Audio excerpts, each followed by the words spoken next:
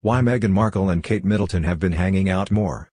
Following months of constant feud rumors between the two, it seems like Meghan Markle and Kate Middleton are getting closer. In July alone, they got together for baby Archie Harrison's christening, attended a polo match between Prince William and Prince Harry, and hit up Wimbledon, where the Duchess of Cambridge comforted the former actress after her BFF Serena Williams lost. But it might not be what it seems. A new report says the moments are part of a total PR stunt, created to stifle the rumors of tension between the royals. A quick recap of Markle and Middleton's reported feud. The reported feud has been going on since Markle agreed to marry Prince Harry in late 2017. Prince William reportedly believed that his brother's relationship with the actress was moving too fast. And when he expressed those concerns, they had a falling out. Naturally, the duchesses got caught in the crosshairs. But now it appears that they're ready to let bygones be bygones and start over. Royal expert Katie Nicholl questions those efforts.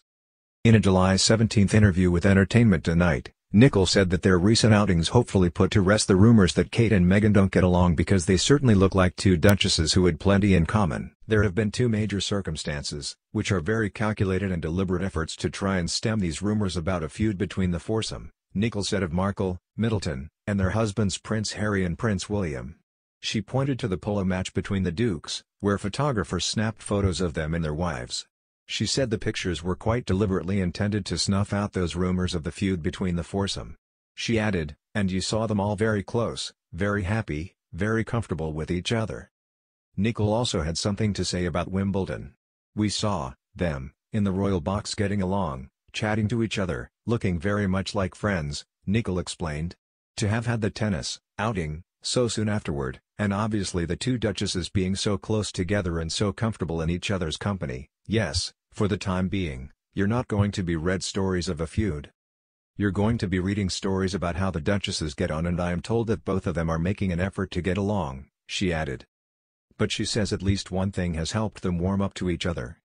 Now that Markle is a mom, she and the mother of three have gotten closer, according to Nicholl. Certainly Archie has brought them closer, she told the publication. She added that the moms will be certainly spending some time together over the summer.